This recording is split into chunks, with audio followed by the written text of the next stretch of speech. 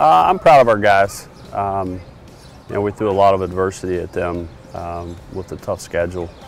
Um, and, you know, guys battling through injuries and playing beat up. And, um, you know, I still think this is the best defense in the country. Um, I think our pitching staff did a very good job of, of, throwing strikes and managing the game, giving us a chance to win.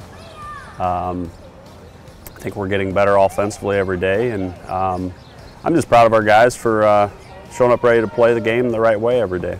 We got to be uh, back to the pitching. It all starts on the mound. We need to be efficient in the zone. Um, pitch the contact early in the zone. Let this, uh, you know, we, we have the best defense in the country, so uh, let this defense play behind us. Um, take outs when outs are given to us, and um, you know we're gonna have to scrap offensively. Um, man, you know, find a way to score some runs. Um, we've got a lot of athleticism, so maybe we can take some extra bases and.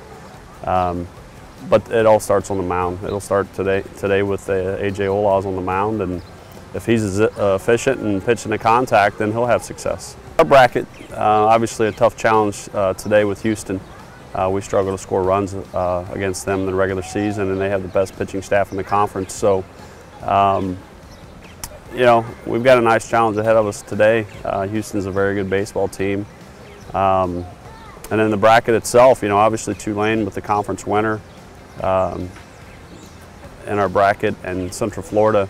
Um, Tulane's dangerous because they're the right now the best team in our conference. Um, and in Central Florida, I, I, think they swing the bats pretty well. Um, and uh, you know, we're gonna have to we're gonna have to do what we do well and, and pitch it and play defense. And um, as long as our pitchers are competing in the zone and managing the running game, um, you know, I like our chances. I like our chances against anybody in the country when we do that.